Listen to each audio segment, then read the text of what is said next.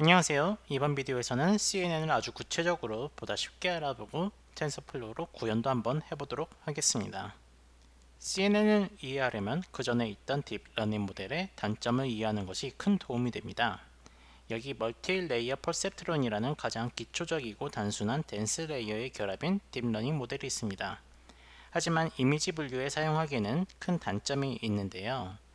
여기 이 예제를 통해서 알아보도록 할게요. 여기 이미지들의 숫자를 구분하실 수 있나요? 전부 상당히 비슷한 숫자 1입니다. 무언가 패턴이 있으니까 충분히 machine learning 모델의 학습 및 테스트 데이터로 사용이 가능할 것 같습니다. 학습 및 테스트 데이터로 구분해 보도록 하겠습니다.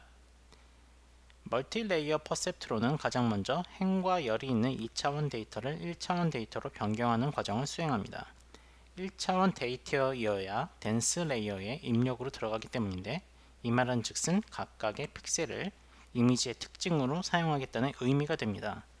가로 세로 5 곱하기 5의 이미지이므로 총 25개의 특징을 dense layer에 입력한다고 생각하시면 되겠습니다.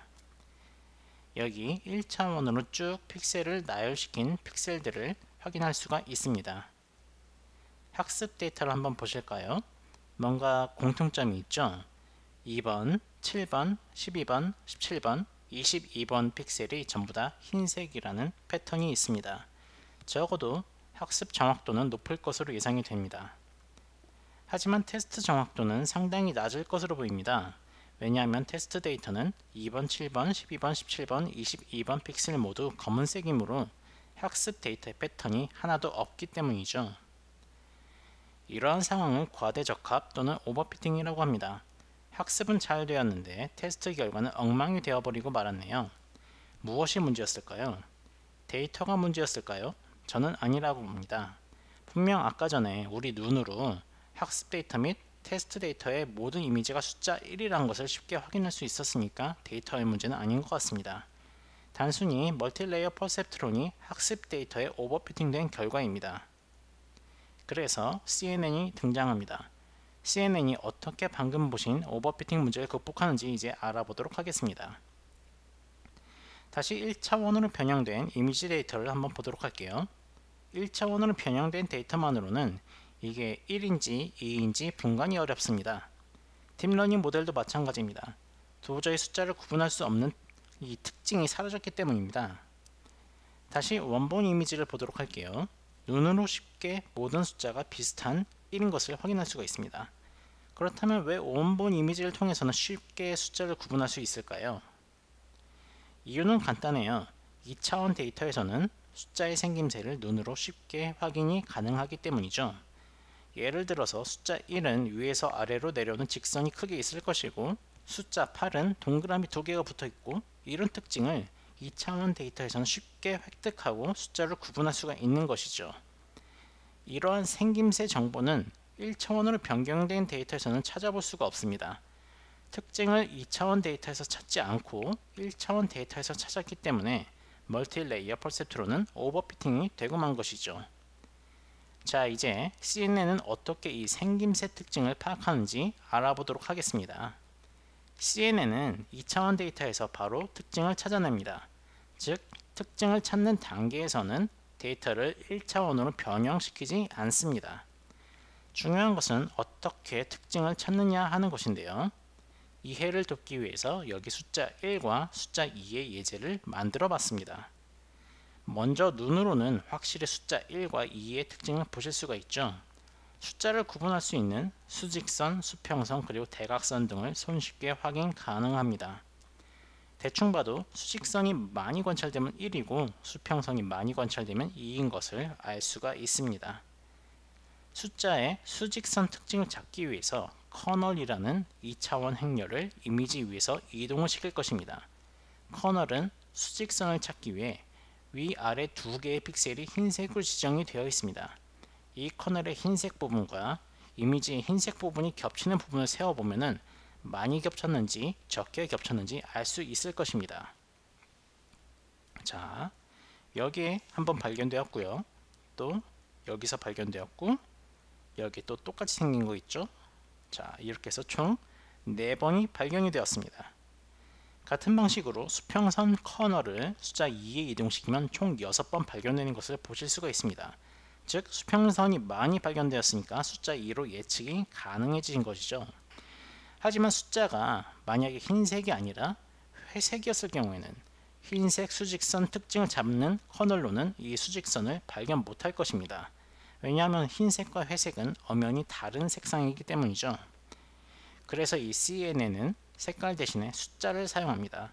통상 흑백 컬러는 0부터 255까지 숫자를 사용하는데 0은 검은색, 255는 흰색, 그리고 그 안에 있는 색상은 0에 가까울수록 까매지고 255에 가까울수록 하얘집니다. 자, 아까의 커널은 이제 흰색 대신에 255라는 숫자를 지니고 있고요. 그리고 단순히 커널 픽셀의 숫자를 겹쳐진 이미지 픽셀과 곱해줄 것입니다. 255 곱하기 0은 0이고요. 0 곱하기 0은 0이고 255 곱하기 0, 0 곱하기 0은 또 0이고요. 다 곱했으면 그 값들을 전부 다 더해줍니다. 0들을 다 더해주니까 0이 나오겠네요. 그리고 같은 방법으로 다른 포지션들도 계산을 해줍니다. 자, 커널을 왼쪽 최상단에서 우측 최하단까지 이동을 시킵니다. 이런 식으로 계산을 쭉 해주는 거예요. 자, 해보면요. 자, 성공적으로 수직선 특징을 발견한 것을 볼 수가 있겠습니다. 자, 약간 흰색이 가장 오른쪽에 있는 것을 보이시죠? 자, 이렇게 특징을 발견을 하였습니다. 사실 이 kernel의 숫자는 바로 deep learning 학습 시 어, 최적화되는 가중치입니다. 그리고 다른 deep learning 모델들과 마찬가지로 가중치와 입력값을 곱한 값에 편향값을 더해주고 최종적으로 활성화 함수를 출력값으로 return을 하게 되는 거죠. CNN은 보통 ReLU라는 최적 함수를 사용합니다. 여기 슬라이드에서 진짜 최종값을 확인할 수가 있습니다. 이번 예제에서는 흑백 이미지를 사용했지만은 컬러 이미지를 가지고 실습할 경우에는 커널뿐 아니라 필터라는 개념도 이해해야 합니다. 자, 필터는 특징을 찾기 위한 목적을 지녔고요. 커널은 2차원 행렬로 이미지 위에서 돌아다니는 녀석입니다. 둘이 같은 거라고 생각하실 수 있는데요. 특히나 흑백 이미지 예제로 커널을 이해했기 때문에 커널이 곧 필터가 아닌가 착각하실 수 있습니다. 하지만 커널과 필터의 차이를 명백히 이해할 필요가 있어서 여기 컬러 이미지를 준비했습니다. 컬러 이미지는 마치 한 장의 이미지 같지만 실제로는 빨강, 녹색, 파란색의 이미지가 겹쳐진 색상입니다. 따라서 컬러 이미지가 CNN의 입력 값으로 들어올 경우 실제로는 세 장의 이미지가 입력이 되는 것입니다. 자, 필터는 한 가지의 특성을 찾기 위한 개념이라고 설명을 드렸죠. 컬러 이미지에서 숙지, 수직선 특징을 찾기 위해서는 한 개의 필터가 필요할 것입니다. 수직선 특징을 찾기 위해서는 빨강 이미지, 녹색 이미지, 파랑 이미지를 돌아다닐 3개의 커널이 필요합니다. 이제 필터와 커널의 차이가 보이시죠? 커널은 2차원 행렬에서 돌아다니는 녀석들이고 필터는 하나의 특징을 찾기 위해서 이미지의 개수만큼 커널을 가지고 있는 녀석입니다. 자, 하나의 특징을 찾기 위해서 필터 안에 빨강, 녹색, 파란 커널들이 빨강 이미지, 녹색 이미지, 파랑 이미지의 왼쪽 최상단에서 오른쪽 최하단까지 이동하는 것을 보실 수가 있습니다. 이렇게 오른쪽으로 4번, 아래쪽으로 4번 해서 총4 곱하기 4의 matrix가 나오겠네요. 각각의 kernel 출력 값들을 합쳐서 해당 필터에 해당하는 feature map을 만듭니다. 슬라이드에서 편향값은 쉬운 이해를 돕기 위해서 제가 생략을 했는데요. 그리고 ReLU 활성화 함수를 사용해서 최종 feature map이 완성이 됩니다. 노란색 테이블이 이 필터의 최종 피처 맵이 되겠네요. 자, 이 부분을 이해하셨으면 이제 CNN의 90%는 이해하셨다고 보면 됩니다. 이제 전체적으로 CNN이 어떻게 이미지를 구분하는지 그림을 통해서 쉽게 알아보도록 하겠습니다. 자 이것이 우리가 이해하게 될 CNN 예제입니다. 자 준비되셨죠? 입력값은 흑백 이미지입니다. 흑백 이미지니까 한 개의 행렬이 입력값으로 필터의 한 개의 kernel만 존재하겠죠. 첫 번째 convolutional layer에서 두 개의 특징을 잡고 싶다면 몇 개의 필터가 필요할까요? 두 개의 필터가 필요합니다. 이미지가 한 장이니까 필터당 한 개의 kernel씩만 있으면 되겠습니다. 필터 1의 kernel이 왼쪽 최상단에서 오른쪽 최하단까지 이동을 합니다. 이런 식으로 이동을 하니까 총 4번씩 가죠. 그러니까 4 곱하기 4의 행렬이 나오고요. 또 필터 2의 kernel이 왼쪽 최상단에서 오른쪽 최하단까지 이동을 합니다. 그렇죠?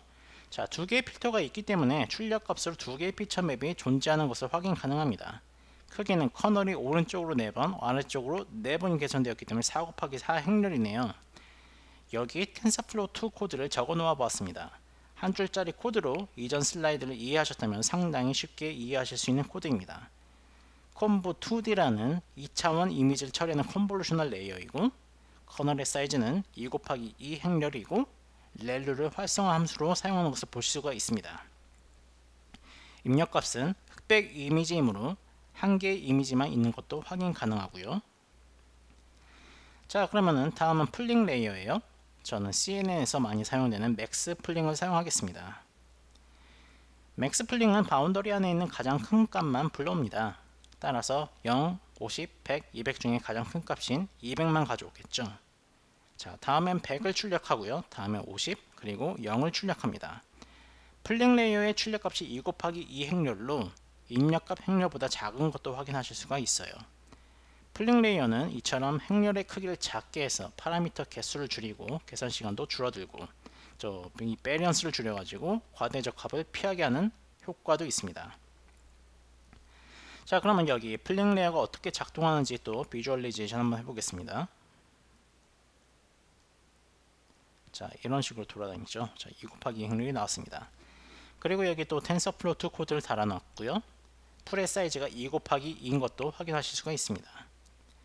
자 이제 다음 convolutional layer에 들어가는 feature map은 두 개가 되겠죠. 한 필터에 두 개의 kernel씩 필요하겠네요. 두 개의 특징을 찾아내려고 한다면 두 개의 필터에 각각 두 개의 kernel이 있어야 되겠습니다. kernel에 움직이기 전에 먼저 feature map의 크기가 너무 작은 것 같습니다. 이 크기라면 kernel이 움직이지도 못하겠네요. convolution을 진행하다 보니 feature map의 크기가 조금 줄어들었습니다. feature map의 크기가 줄어드는 것을 방지하기 위해서 보통 zero padding이라는 것을 사용합니다. zero padding은 외곽에 0을 추가하여 convolution을 진행 시 feature map의 크기가 줄어드는 것을 방지해주고 외곽에 대한 정보도 모델에 알려주는 효과도 줍니다. 자, zero padding을 적용한 모습을 보실 수가 있고요. 이제 첫 번째 필터의 kernel을 움직여 보도록 하겠습니다.